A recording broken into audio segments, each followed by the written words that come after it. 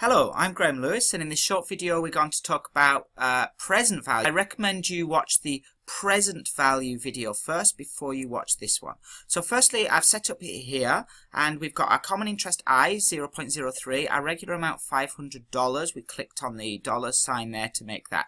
Now let's do the period. So whatever period you choose, a week, a month, a year, semi-annually, I'll just call those 1, 2, 3, 4, 5. That's our N value. So 1, I'm going to enter a formula like last time. I'll show you you, no, I'm going to do it the same way, equals, click on the cell above, and then add 1 as we did before, and then I can copy that formula down later. So, for example, I can drag that, and I'll drag it down to 4 there for now. Now what I'm going to do, slightly different to last time, I'm going to work out the value of the present value by period. So clearly, um, after one year, my value of the present value after one year is equal to the $500 I've put in divided by 1 plus 0.03 to the power 1. So I'm going to enter that as a formula. So equals, I'm going to click on the 500. I need brackets because I'm going to do a division because you can notice in the formula bar there is bracket equals 500 and then uh, I need to divide that by and I'm going to open a bracket again and I'm going to do 1 plus 0.03, close that bracket, and I need to raise that to the power 1.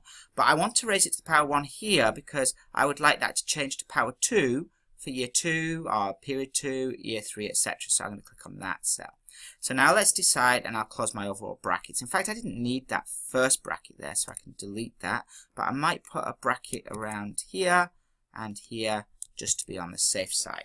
So I've got that's my formula to work out the amount, 500 divided by 1.03 to the power 1. So now some of these need to be cell referenced because I always want to use the same interest rate I, uh, which is uh, B1. So I always want to uh, have that as dollar cell reference that. Always go to uh, column B, always go to um, column uh, row 1. I would recommend entering the dollars after. If you try and do dollar $B, dollar $1, sometimes Excel goes funny. So hit the cell B1 and then put the dollars in after. I also want to always use the regular payment, so I, so I can change that. So I always want to do dollar $E, dollar, the thing that's going to change in my formula, because I want to raise this to the power 1 for uh, the period 1, but on period 2, I want it to be power 2. So let's hit enter, and that should work out the uh, present value of that annuity. So it would cost me 485 dollars 43 point blah, blah, blah, uh, cents uh, to raise that. Now, of course, we can format these. So I'll just highlight the first five there. And let's hit the dollar sign so it's looking nicely in dollars. Excel keeps all the decimal places for you, so that's really nice. And now let's see what happens if I drag this formula down. If I drag this formula down, let's see if it's working.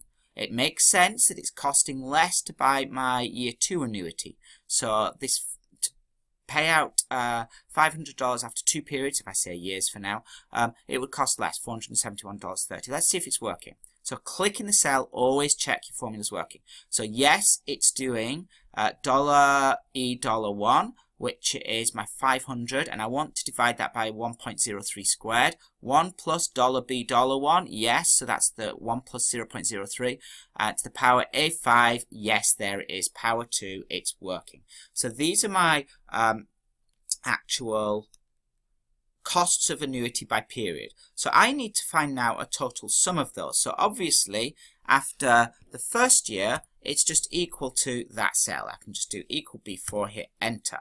But after the second year, what I really want to do is add these two together. And after the third year, add these three together. And after the fourth year, add those four together. An easy way to do that in Excel is actually do it diagonally. So I'm going to click equals. This is the sum of the first two. Add it to the one before. And that's the sum of those two.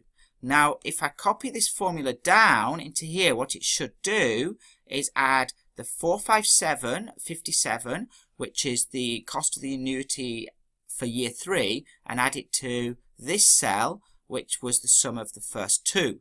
And so I should get my total value of my present value. And let's click in the cell, check it's working, equals B6, add C5. So B6 is there. That is the uh, present value of the third year annuity and C5 was the sum of the first two. So there I have it. I can copy that down and I'm getting my present value by sum. Now the beautiful thing is now I can highlight all of these three cells and copy them down uh, because they're all formulas. This one was A6 plus 1. This one is a formula and this one is formula. So you can now highlight all three, copy them down and you should see there it is working beautifully. Now what can happen is I can change my interest rate. Let's let's go crazy. Let's have 5% interest. Wow, that would be fantastic. And you can see the amounts changing. I can change the payment.